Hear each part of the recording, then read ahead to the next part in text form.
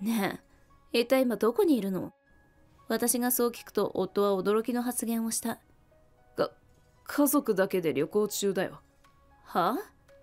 娘の誕生日なのに何をしてるの？親孝行の方が大事だろ。そう。そのつもりならこっちもやりたいようにやらせてもらうわ。私は電話を切り、とある行動に出た。お、おい、一体どうなってるんだ？慌てふためく夫。全部自業自得だ。せいぜい苦しめばいいさ。私の名前は愛子34歳の会社員だ。夫の翔太とは結婚して8年になる。私たちはもともと同じ職場で働く同僚だった。彼の方が先輩で私の教育係だったこともあり、私たちは自然と距離が縮んでいった。そしてそれから私たちは交際を始め、1年ほど付き合った後に結婚に至った。新婚生活はとても楽しくて幸せだった。だが、全く問題がなかったというわけではない。それは義両親の存在が原因だった。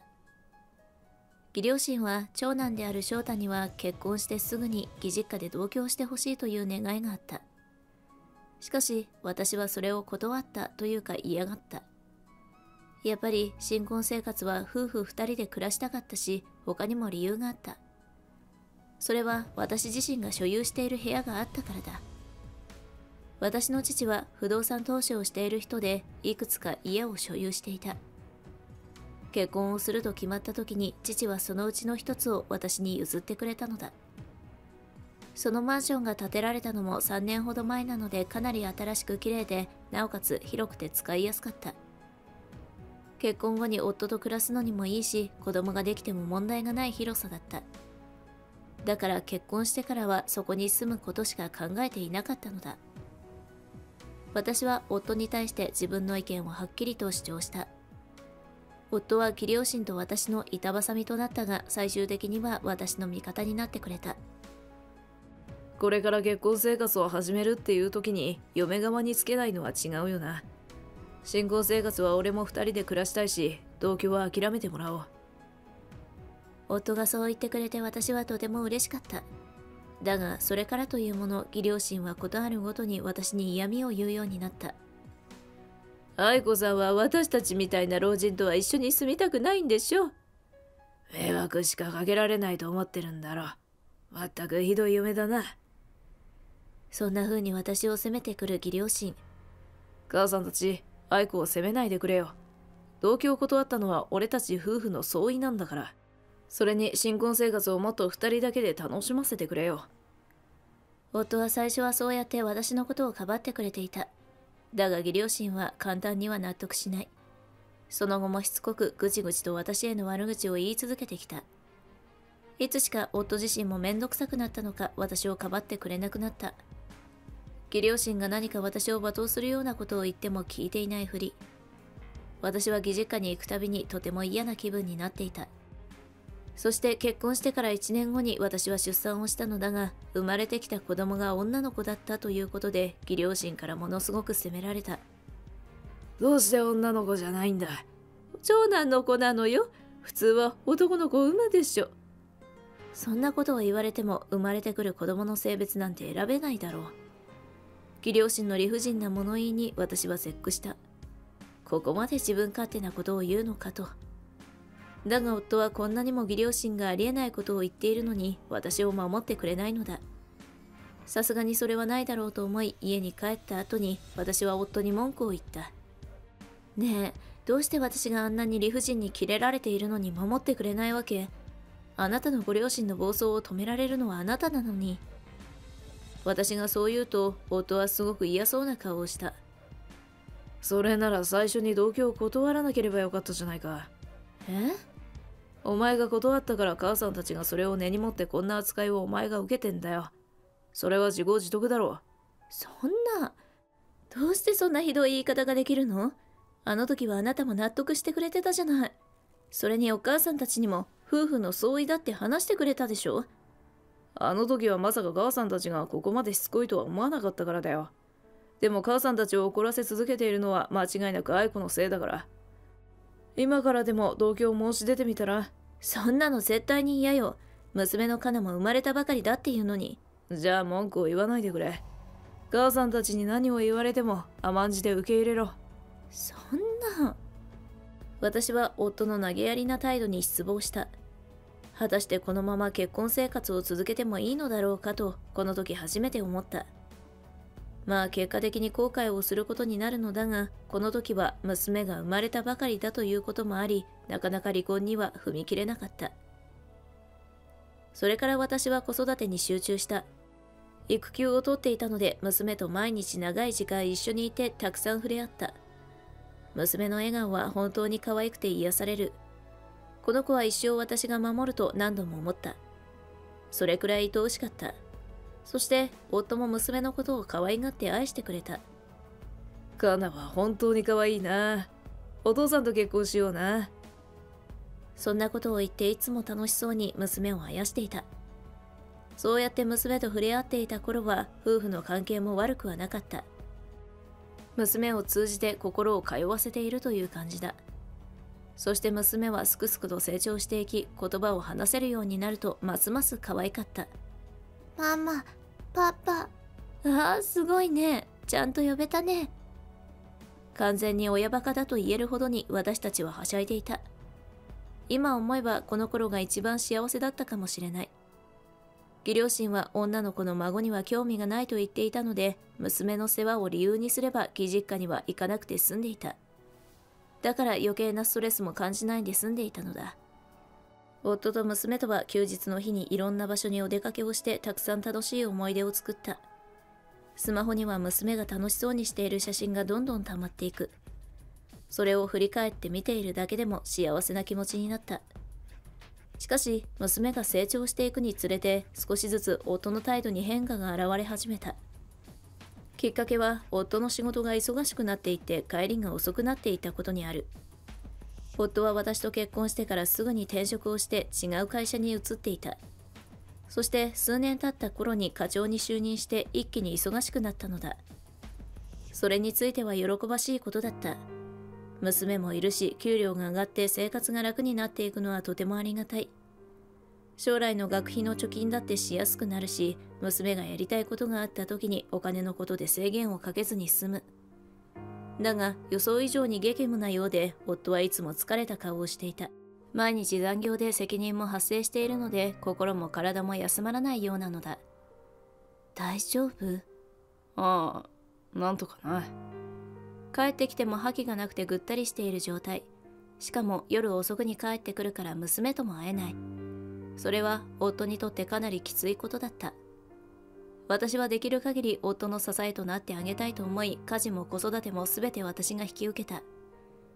夫の食事にも気を使い、なるべく栄養がたくさん取れるメニューを心がけた。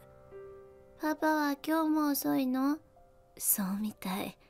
先にご飯を食べてよっか。うん。娘は父親の帰りが遅いことが悲しいようで一緒にご飯を食べる機会が減って落ち込んでいた。だが夫は私たちのために一生懸命働いているので私も夫も責めることはできなかった。お父さんはカナが好きなことを目いっぱいできるようにたくさん働いてきてくれているの。今このご飯が食べられているのも全部お父さんのおかげなんだよ。だからお父さんのことを応援してあげよう。うん。カナお父さんにお手紙書く。娘はそう言って夫が帰ってきてから読んでもらうために短いお手紙を書いていたそこにはパパありがとう、お仕事頑張ってねという言葉が書かれていて、これは夫が見たら泣くだろうなと思った。ラップしておいた晩ご飯を食卓に置き、娘の手紙も添えておいた。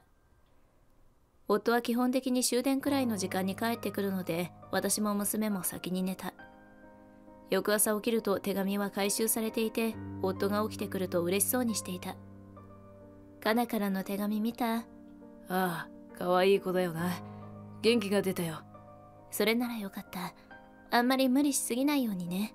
ああ分かってる。夫はそういったものの責任感からか残業を減らすことができずに結局帰りが遅い日が続いていた。毎日疲れた顔をしていて私が話しかけても余裕がなさそうだ。休日出勤もしているしそのせいで日曜はぐったりしてずっと寝ている家族でお出かけすることもできず、かといって夫を責めることもできなかった。そんな中悲しいことが起こった。それは夫が職場で倒れたということだ。病院から連絡を受け私はすぐに駆けつけた。あなた大丈夫？ああすまないな。心配かけて。ちょっと無理しすぎたみたいな。倒れるまで無理するなんてあなたにもしものことがあったら残された私とカナは悲しくてそんなの耐えきれないよ。ごめん。会社も俺に負担をかけすぎたって反省したようでこれからは残業はなしになったから他にも体調を崩したり心を病んでしまった人がいたんだ。それで根本的に変えようってなったそうだ。それならいいけどお父さん。かなごめんな心配かけて夫は娘を抱き上げて自分の前に座らせた。久しぶりに頭をなでなでされて娘は嬉しそうにしている。これからは無理しすぎずに働くから。約束だよ。夫は何か病気だったとかではなく過労によるものだったから検査入院などをして数日様子を見て大丈夫そうならすぐに退院できるらしい。私はそれを聞いて安心したそれから私は数日間休みをもらって夫のお見舞いに通った。愛子毎日来なくてもいいのに。いやいや心配だから。これ着替え置いとくね。プリンも冷蔵庫に入れておくから。ああありがとう。退院したらカナと3人で美味しいものを食べに行こうね。そうだな。私はそうやって夫と楽しく話をしていた。だがその時に義両親が見舞いにやってきた翔太大丈夫？過労で倒れたって聞いたぞ。ああ、父さん母さん心配かけてごめんね。義両親はすぐに私を睨みつけてきた。ちょっと愛子さん、あなた息子が過労で倒れるほどに追い込むなんてどういうつもり？え？どうせあんたが無理やり働かせて家事も息子にやらせたんだろ。本当にひどい嫁だな。私はいきなりそんな風に責められてびっくりした。ちょ、ちょっと母さんも父さんも勘違いしないでくれよ。俺が倒れたのは会社で激務をしすぎたからだよ。愛子はむしろ心配してくれてたんだから。うんだとしても私たちが見舞いに来てる時にあなたにはいてほしくないわ。義両親にそう言われて私は病室を出るしかなかった。じゃあ私帰ります。そうしてちょうだい。ものすごく腹が立ったが夫にとっては親なので私が引くしかなかった。病室で喧嘩をするわけにもいかないし。それから私は少し見舞いに行く頻度を減らした。夫ももう少しで退院するし、義両親がやたらと見舞いに来ていたからだ。そして1週間ほど経った頃、夫は退院をして家に帰ってきた。パパ、おかえり。おお、かな、ただいま。あなた、おかえりなさい。ああ、心配かけてごめんな。やっと夫が帰ってきて嬉しかった。私たちは退院のお祝いとしてお寿司を食べに行った。久しぶりに3人でご飯を食べることができて娘はとても嬉しそうにしてその後夫は定時で仕事を終えてすぐに帰ってこられるようになった。娘は夫が早くに帰ってきて一緒にご飯を食べられるようになって喜んでいた。毎日小学校で起きたこととかを嬉しそうに話している。そんな娘の楽しそうな顔を見ながら私は幸せを感じていた。こうやって家族団らんで過ごせるようになってとても嬉しい。だがそれから少し経った頃再び夫の帰りが少しずつ遅くなるように。以前のように夜中までというわけではないが帰ってくるのは22時頃になることが多かった。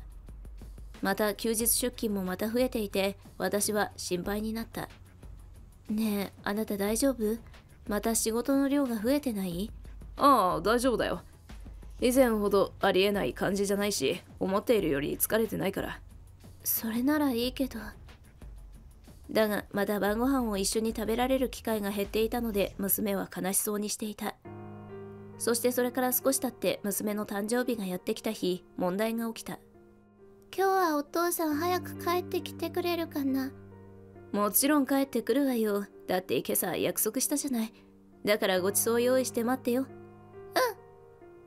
私は仕事を早めに切り上げて帰ってきてごちそうの準備をしたケーキも買ってあるし、娘の好物ばかり作ったし完璧だ。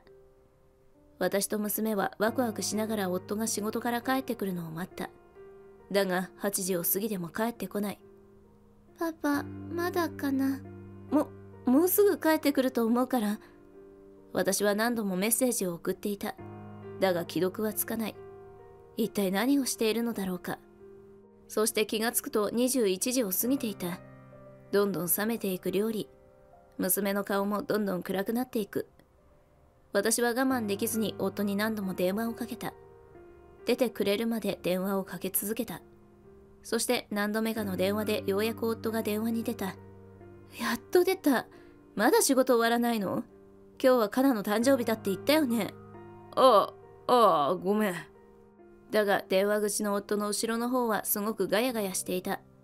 確実に職場ではない。何やら音楽が聞こえてくるし、いろんな人の声も聞こえてくる。ねえ、一体今どこにいるの？ど、どこって職場だけど。絶対に嘘。後ろのガヤガヤした音や声は何なの？職場だとかいう嘘は通用したいわよ。私がそう聞くと夫は驚きの発言をした。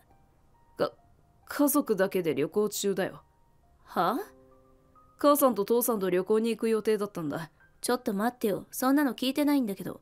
娘の誕生日なのに何をしてるの？大体、今朝だってカナの誕生日のお祝いをするって話してたじゃない。それであなたは了承してたよね。早く帰ってくるって言ってたわよね。そ、それは、でも、親孝行の方が大事だろう。は？だ、大体愛子が悪いんだぞ。俺の親との関係が悪いから。こうやって俺は板挟みになってどちらかを選ばないといけなくなったんだからな。そう。そのつもりならこっちもやりたいようにやらせてもらうわ。夫の逆ギレに私の中で何かが切れた音がした。私は電話を切り、とある行動に出た。その時、とあることが分かった。さらに、怒りでいっぱいになった私は夫に復讐をすることに決めた。かな、お父さん帰ってこないみたい。お誕生日会は二人でやろう。私はそう言って料理を温め直した。娘はとても悲しそうにしていたが、私から何かを感じ取ったのだろう。泣きじゃくったりとかはせずにおとなしく言うことを聞いてくれた。私はすぐに父に連絡をした。すると、懇意にしている不動産を紹介してくれてすぐに家を売った。そして私と娘の荷物は父が所有する別の部屋に移し、夫の荷物は義実家に送った。テキパキと行動したおかげで、あっという間に私は引っ越しを完了させることができた。それから数日後、帰宅してきたのか、夫から鬼電がかかってきた。もしもし、どうしたの？お、おい、一体どうなってるんだ？慌てふためく夫。なんで部屋の鍵が開かないんだ？ああ、だってその部屋はもう売ったからね。う、売った？どういうことだよ？だってあなた、カナの誕生日祝いをすっぽかしたじゃない。そ、それは悪かったよ。でもそれで家を売るなんておかしくないか？そうね、それだけで私も家を売ったりはしないわ。私が怒ってるのは、あなたが嘘を何個もついたってことよ。お母さんたちと旅行って嘘よね。え、な、何言ってるんだよ。母さんたちと家族旅行に行ったって言ってるだろ。私あの後すぐにお母さんに電話をかけたのよね。え？一言物申したくてさ。そしたら息子と旅行なんて行ってないし家にいるって言われたわ。最初は嘘をついてるのかと思ったんだけど、事情を説明したら家まで来てくれたわ。それであなたがお母さんたちの名前を出して嘘をついたっていうのが分かったのよ。一体誰と旅行に行ってたのかしら？そ、それは、ご、ごめん。浮気してた。やっぱりね。不倫相手と旅行に行ってたってことでしょ？娘の誕生日に。旅行の方が先に決まってて、それで後からカナの誕生日と被ってるって気づいて、どうしたらいいかわからなくて。最低ね。普通優先させるべきはどっちかなんて明らかだと思うけど。とにかく、あなたとは離婚だから。え？当たり前でしょか、カナとは、もう会えないのか？それはあなた次第よ。とにかくあなたがしたことは最低だってことを自覚してしっかりと反省してちょうだい。あとは弁護士を通してやり取りしましょう。私はそう言って電話を切った。それから夫は実家に帰ったそうだが、義両親からこっぴどく叱られてその上で家を追い出されたそうだ。その後、私は弁護士を通して夫に離婚を要求し、慰謝料と養育費を請求。不倫相手と夫からそれぞれ300万の慰謝料を支払ってもらった。なんと不倫相手は入院した先の看護師だったそうだ。退院してからも関係を持ち、そのままずるずると不倫関係を続けていたそうだ。今回のことを私は不倫相手の職場と夫の職場に報告した。その結果不倫相手は仕事をクビになり元夫は窓際部署に飛ばされて降格処分になったそうだ。元夫と不倫相手は別れることになり元夫は一人寂しく貧しい生活をしながら借金を返す日々を送っているようだ。全部自業自得だ。せいぜい苦しめばいいさ。一方私は実家で娘と両親と暮らすことにして会社員として一生懸命働いているシングルマザーになったとしても大変だとは周りに思わせないくらいに娘を愛しながら幸せな日々を過ごそうと思う最後までご視聴ありがとうございます。もしよかったらチャンネル登録よろしくお願いいたします。では次の動画でお会いしましょう。